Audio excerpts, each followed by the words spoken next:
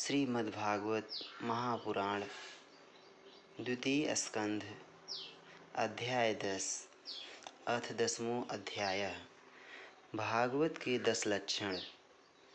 श्री सुकुवाच, अत्र सर्गो विसर्गश्च अस्थानम पोषणमूतयः मन्वन्तरेशानुकथा निरोधो मुक्तिराश्रयः।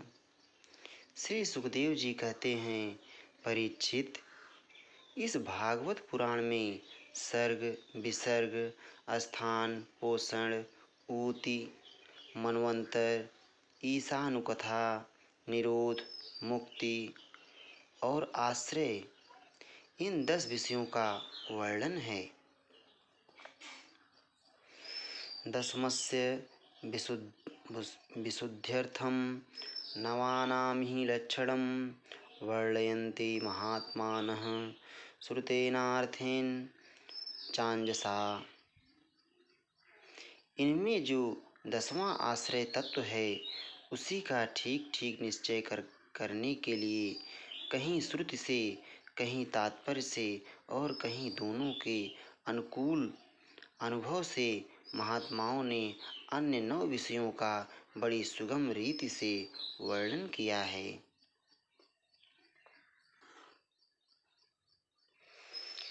भूतमात्रे इंद्रि जन्म सर्ग उदाहृत, ब्रह्माणो गुणवैष्म्याद विसर्ग, पौरुष, स्मृत।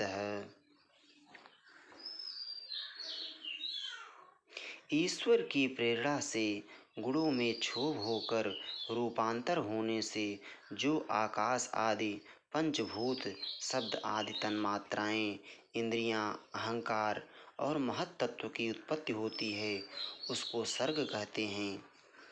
उस विराट पुरुष से उत्पन्न ब्रह्मा जी के द्वारा जो विभिन्न चराचर सृष्टियों का निर्माण होता है उसका नाम है विसर्ग। स्थितिर वैकुंठ विजय पोषण तदनुग्रह। मनवंतराणी सद्धर्म ऊतय कर्म वासना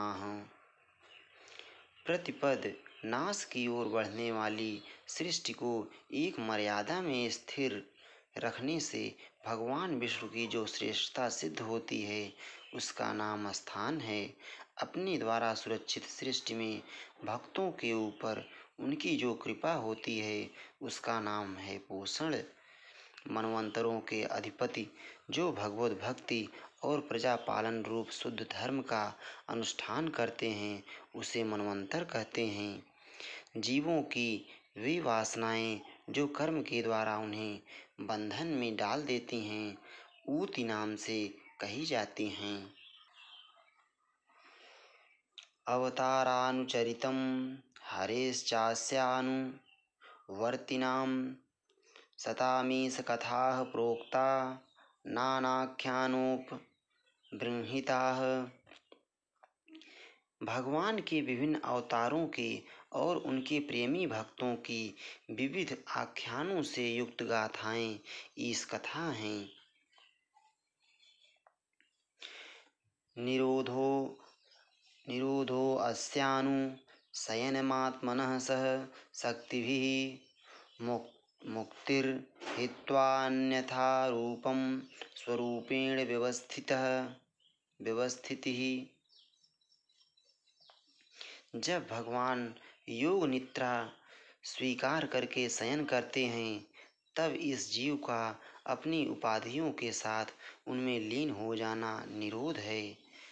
अज्ञान कल्पित कर्तृत्व भोक्तृत्व आदि अनात्म भाव का परित्याग करके अपने वास्तविक स्वरूप परमात्मा में स्थित होना ही मुक्ति है। आभासश्च, निरोधश्च यदश्चाद्य वसीयते स आश्रय परम ब्रह्म परमात्मेति शब्दते। परिचित, इस प्रकार, परिचित इस चराचर जगत की उत्पत्ति और प्रलय जिस तत्व से प्रकाशित होते हैं, वह परम ब्रह्म ही आश्रय है। शास्त्रों में उसी को परमात्मा कहा गया है। यो आध्यात्मिको अयम पुरुषः सो असावेवाधि दैविकः। यस्तत्रोभय विच्छेदः पुरुषो यदि भौतिकः जो नेत्र आदि इंद्रियों का अभिमानी दृष्टा जीव है, वही इंद्रियों के अधिष्ठात्री देवता सूर्य आदि के रूप में भी है।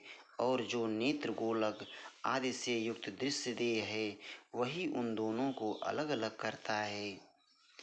एकमेकत राभावे यदा नोपल भामहे तृतीयं तत्र यो वेद। स आत्मा स्वाश्रयाश्रय। इन तीनों में यदि एक का भी अभाव हो जाए तो दूसरे दूसरे दो की उपलब्धि नहीं हो सकती। अतः जो इन तीनों को जानता है, वह परमात्मा ही सबका अधिष्ठान, आश्रय तत्व है। उसका आश्रय वह स्वयं ही है, दूसरा कोई नहीं। पुरुषोंडम पुरुषोंडम विनिर्भिद्य यदासौ स विनिर्गतः आत्मनो अयन, अयनम अन्विच्छन् ओ अस्त्राक्षी चेचुछी सूची है जब पूर्वोक्त विराट पुरुष ब्रह्मांड को फोड़कर निकला, तब वह अपने रहने का स्थान ढूँढने लगा। और स्थान की इच्छा से उस शुद्ध संकल्प पुरुष ने अत्यंत पवित्र जल की सृष्टि की। तास्वात्सीत स्वसृष्टासु सहस्रपरिवत्सरान् तेन नारायणो नाम यदापः पुरुषोद्भवा। विराट पुरुष रूप नर से उत्पन्न होने के कारण ही, उसका कारण ही जल का नाम नार पड़ा और उस अपने उत्पन्न किए हुए नार में वह पुरुष एक हज़ार वर्षों तक रहा। इसी से उसका नाम नारायण हुआ। द्रव्यम कर्म च, कालश्च, स्वभावो जीव एव च। यदनुग्रहतः सन्ति न सन्ति यदुपेक्षया। उन नारायण भगवान की कृपा से ही द्रव्य, कर्म, काल, स्वभाव और जीव आदि की सत्ता है, उनकी उपेक्षा कर देने पर और किसी का अस्तित्व नहीं रहता। एको नानात्म, एको नानात्वम अन्विच्छन् योगतल्पात् समुत्थित वीर्यं हिरण्मयं देवो माया व्यसृजत त्रिधा।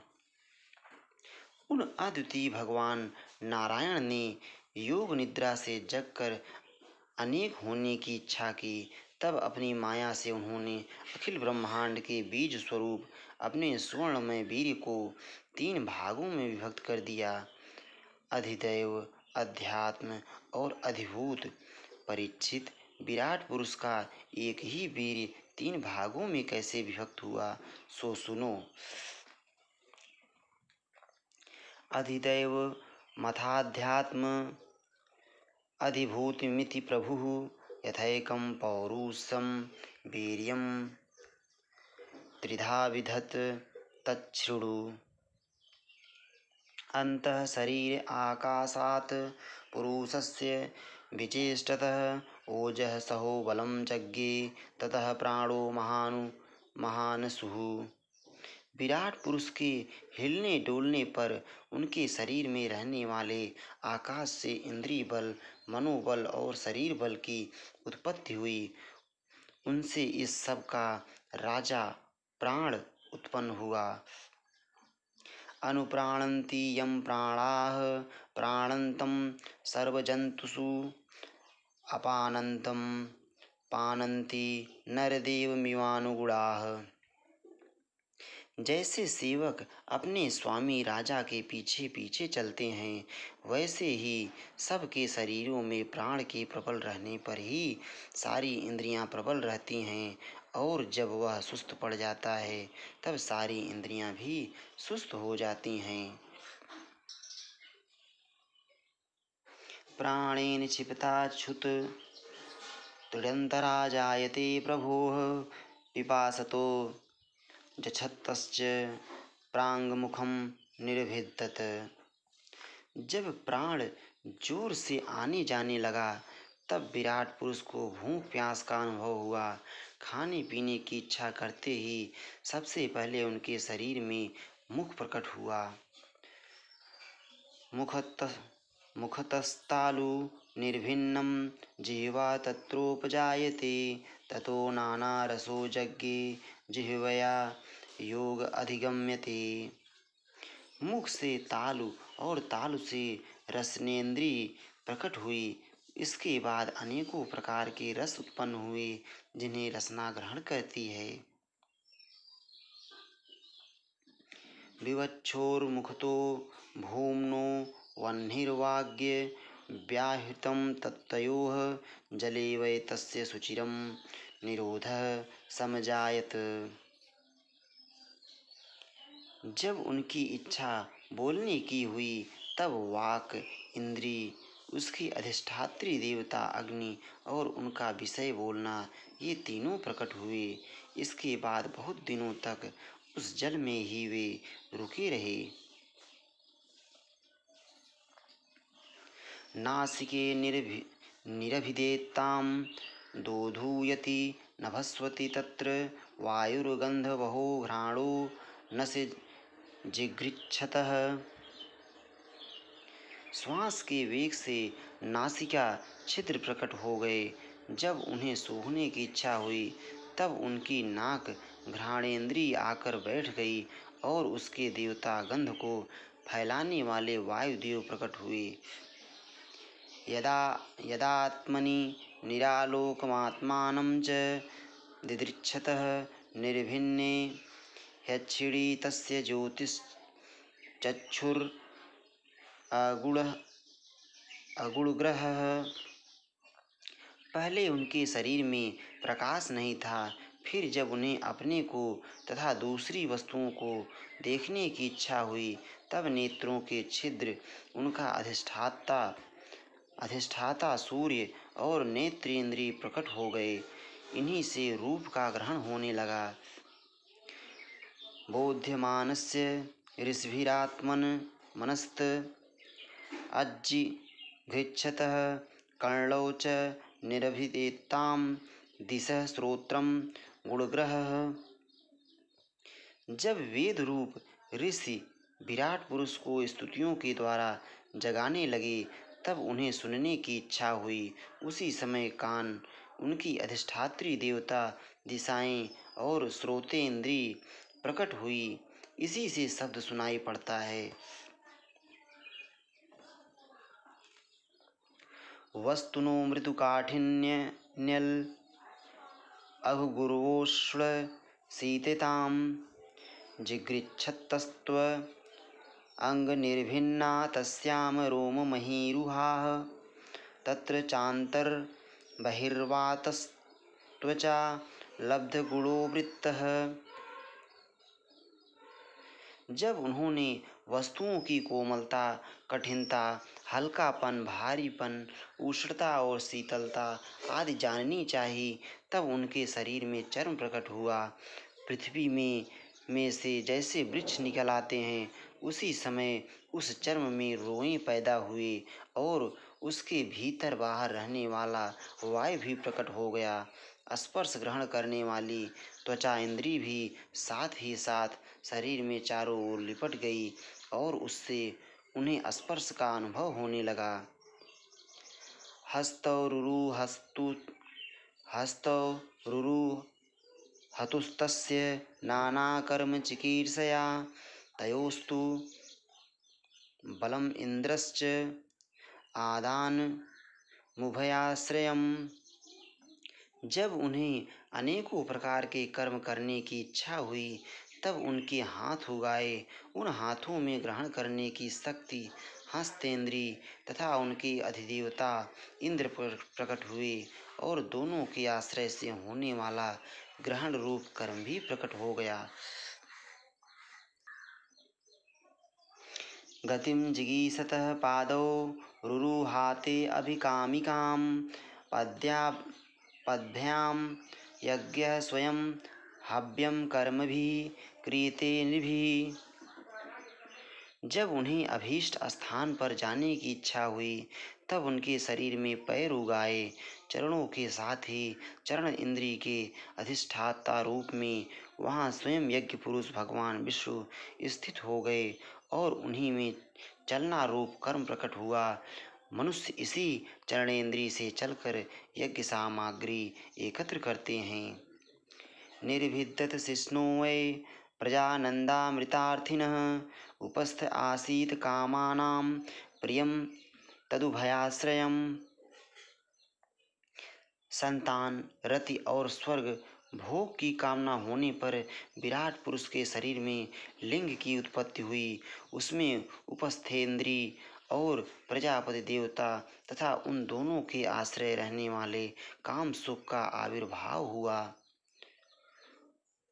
उत्सृक्षो उत्सृष उत्सृष उत्सृक्षोर्धातुमलं निर्भिद्यत वै ततः पायुस्ततो मित्र उत्सर्ग उभयाश्रय जब उन्हें मल त्याग की इच्छा हुई तब गुदा द्वार प्रकट हुआ तत्पश्चात उसमें पायु इंद्री और मित्र देवता उत्पन्न हुए इन्हीं दोनों के द्वारा मल त्याग की क्रिया संपन्न होती है। आश्रिप्सोः पुरः पुरया नाभिद्वार द्वारं पानतः तत्रापान अस्ततो मृत्युः पृथक्त्वं मुभयाश्रयम्। अपान मार्ग द्वारा एक शरीर से दूसरे शरीर में जाने की इच्छा होने पर नाभिद्वार प्रकट हुआ। उससे अपान और मृत्यु देवता प्रकट हुए। इन दोनों के आश्रय से ही प्राण और अपान का विक्षोभ यानी मृत्यु होती है। आदित्य आदित्योरन्न पानानामासन नाड़य, नद्य समुद्राश्च तयोस्तुष्टिः पुष्टि अस्तदाश्रय जब विराट पुरुष को अन्न जल ग्रहण करने की इच्छा हुई, तब कोख, आते और नाड़ियाँ उत्पन्न हुई। साथ ही कुछ के देवता समुद्र, नाड़ियों के देवता नदियाँ एवं तुष्टि और पुष्टि, ये दोनों उनके आश्रित विषय उत्पन्न हुए। निदिध्यासो रात्म हृदय निर्भिद्यत ततो मनस्तश्चंद्र संकल्प काम एव तब जब उन्होंने अपनी माया पर विचार करना चाहा, तब हृदय की उत्पत्ति हुई। उससे मन रूप इंद्री और मन से उसका देवता चंद्रमा तथा विषय कामना और संकल्प प्रकट हुए। त्वक चर्म मांस त्वक्चर्म मांसरुधिर्मेदोम मेदोमज्जा अस्थिधातवः भौम्यप्तेजोमयाः सप्तप्राणो व्योमां बुवायुभिः। विराट पुरुष के शरीर में पृथ्वी, जल और तेज से सात धातुएँ प्रकट हुईं। त्वचा, चर्म मांस, रुधिर मेद मज्जा और अस्थि। इसी प्रकार आकाश, जल और वायु से प्राणों की उत्पत्ति हुई। गुणात्मकानि इंद्रियाणि, भूतादि प्रभवा गुणा, मन सर्वविकारात्मा बुद्धिर्विज्ञान रूपिणी श्रोत्रादि सब इंद्रियाँ, शब्द आदि विषयों को ग्रहण करने वाली हैं। वे विषय अहंकार से उत्पन्न हुए हैं। मन सब विकारों का उत्पत्ति स्थान है और बुद्धि समस्त पदार्थों का बोध कराने वाली है। एतद्भगवतो रूपम स्थूलम ते व्याहृतं मया। मह्यादिभिश्चा वर्णैरष्ट अभिर्बहिरावृतम। मैंने भगवान के इस स्थूल रूप का वर्णन तुम्हें सुनाया है। यह बाहर की ओर से पृथ्वी, जल, तेज, वायु, आकाश, अहंकार, महत्त्व और प्रकृति इन आठ आवरणों से घिरा हुआ है। अतः परम सूक्ष्मतम, अव्यक्तम, निर्विशेषणम अनादिमध्य निधनम नित्यम, वांग मनसह परम। इससे परे भगवान का अत्यंत सूक्ष्म रूप है। वह अव्यक्त, निर्विशेष, आदि मध्य और अंत से रहित एवं नित्य है। वाणी मन की वहाँ तक पहुँच नहीं है। आ मुनि, भगवद्रूपे मया ते अनुवर्णिते। उभे अपि न गृह्णन्ति माया सृष्टि विपश्चितः। मैंने तुम्हें भगवान के स्थूल और सूक्ष्म व्यक्त और अव्यक्त जिन दो रूपों का वर्णन सुनाया है, ये दोनों ही भगवान की माया के द्वारा रचित हैं। इसलिए विद्वान पुरुष इन दोनों को ही स्वीकार नहीं करते। सवाच्यवाचकतया भगवान ब्रह्म रूपधृक् नाम रूप क्रिया धत्ते सकर्मा कर्मकः परः। वास्तव में भगवान निष्क्रिय हैं, अपनी शक्ति से ही वे सक्रिय बनते हैं। फिर तो वे ब्रह्मा का यह विराट रूप धारण करके वाच्य और वाचक शब्द और उनके अर्थ के रूप में प्रकट होते हैं और अनेकों नाम, रूप तथा क्रियाएँ स्वीकार करते हैं। प्रजापतीन, मनून देवानृषीन् पितृगणान् पृथक् सिद्धिचारण गंधर्व गंधर्वान् विद्याध्रा, सुरगुह्यकान् किन्नराप्सरसो नागान् सर्पान्, किं पुरुषोरगान् मातृरक्षः पिशाचांश्च प्रेतभूतविनायकान्। परीक्षित प्रजापति मनु, देवता, ऋषि, पितर, सिद्ध, चारण गंधर्व, विद्याधर, असुर, यक्ष, किन्नर, अप्सराएँ, नाग, सर्प किम पुरुष उरुग, उरग, मातृकाएँ, राक्षस, पिशाच, प्रेत, भूत, विनायक कुष्मांड उन्माद, वेताल यातुधान ग्रह पक्षी मृग, पशु, वृक्ष, पर्वत, सरीसृप इत्यादि जितने भी संसार में नाम रूप हैं, सब भगवान के ही हैं।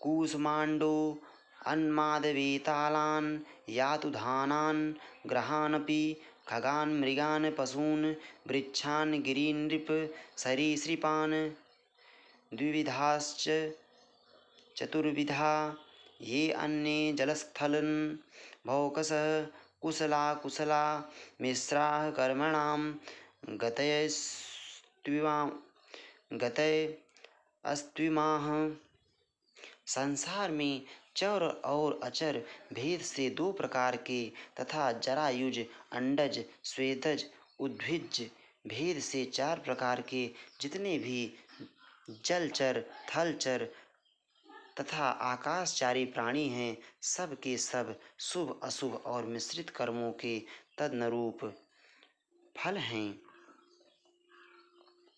सत्वम रजस्तम इति तिस्त्रः सुर नृनारकाः तत्राप्ये कैकसो राजन् भिद्यन्ते गतैस्त्रिधा।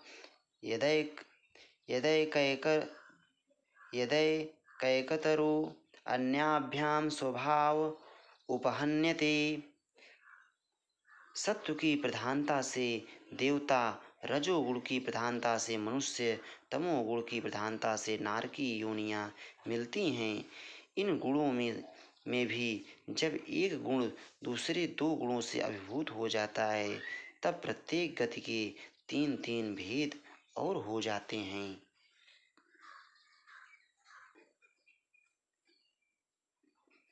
स एवेदं जगद्धाता भगवान् धर्मरूपधृक् पुष्णाति स्थापयन् विश्वं तिर्यङ्ग नरसुतार सुत तिर्यङ्ग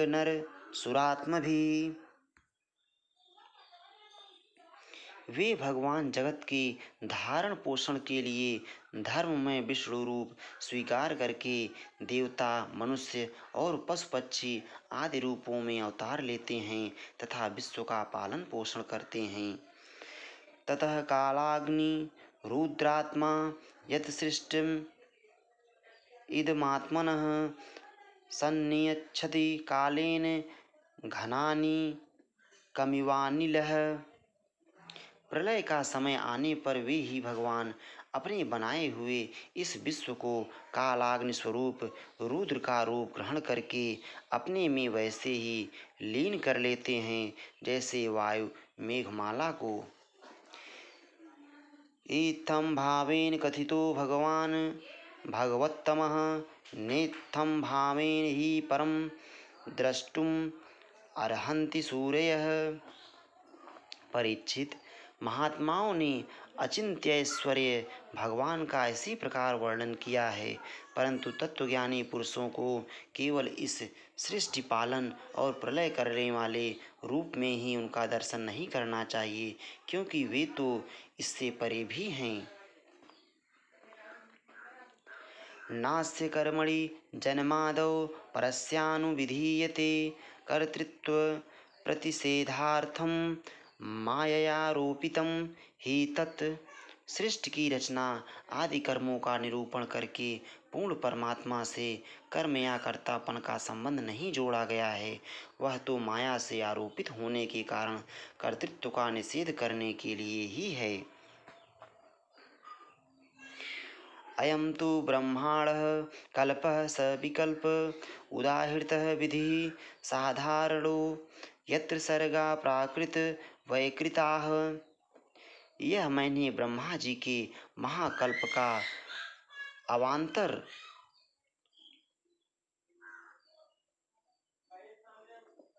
कल्पों के साथ वर्णन किया है। सब कल्पों में सृष्टि क्रम एक सा ही है। अंतर है तो केवल इतना ही है। इतना ही कि महाकल्प के प्रारंभ में प्रकृति से क्रमशः महत्त्व आदि की उत्पत्ति होती है और कल्पों के प्रारंभ में प्राकृत सृष्टि तो ज्यों की त्यों रहती ही है। चराचर प्राणियों की वैकृत सृष्टि नवीन रूप से होती है। परिमाणम च कालस्य कल्पक्षण विग्रह यथा पुरस्तादव्याख्यास्ये पाद्यम कल्पमथो शृणु। परीक्षित काल का परिमाण, कल्प और उसके अंतर्गत मनवंतरों का वर्णन आगे चलकर करेंगे।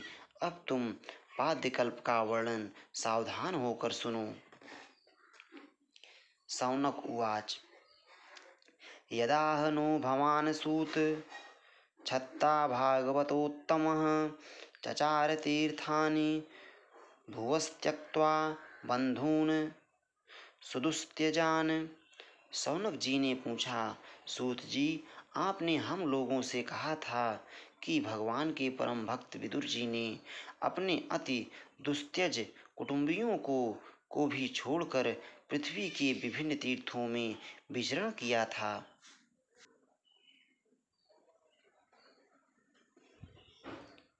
कुत्र कौसारवेस्तस्य संवादो अध्यात्मसंसृतः। यद्वास भगवांस्तस्मै पृष्ठस्तत्वमुवाच उस यात्रा में मैत्रेय ऋषि के साथ अध्यात्म के संबंध में उनकी बातचीत कहाँ हुई तथा मैत्रेय जी ने उनके प्रश्न करने पर किस तत्व का उपदेश किया? ब्रूहि नस्तदिदं सौम्यविदुरस्य विचेष्टितं बन्धुत्याग बन्धुत्यागनिमित्तं च तथैवागतवान् पुनः। सूत जी आपका स्वभाव बड़ा सौम्य है। आप विदुर जी का वह चरित्र हमें सुनाइए। उन्होंने अपने भाई बंधुओं को क्यों छोड़ा और फिर उनके पास क्यों लौट आए? सूत उवाच राज्ञा परीक्षिता पृष्टो यद्वेचन्म महामुनिः तद्यो अभिधास्य शृणुत राज्ञः प्रश्नानुसारतः सूत जी ने कहा, सौनक आदि ऋषियों, राजा परीक्षित ने भी यही बात पूछी थी। उनके प्रश्नों के उत्तर में श्री सुखदेव जी महाराज ने जो कुछ कहा था, वही मैं आप लोगों से कहता हूँ। सावधान होकर सुनिए। इति श्रीमद्भागवते महापुराणे वैयासिक्यामष्टादशसाहस्र्यां पारमहंस्यां संहितायां द्वितीयस्कन्धे पुरुषसंस्थानुवर्णनं नाम दशमोऽध्यायः इति द्वितीयः स्कन्धः समाप्तः। ॐ ॐ ॐ। श्रीराधावल्लभ